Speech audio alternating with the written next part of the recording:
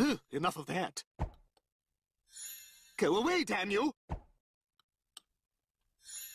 Oh, you're going to get it now!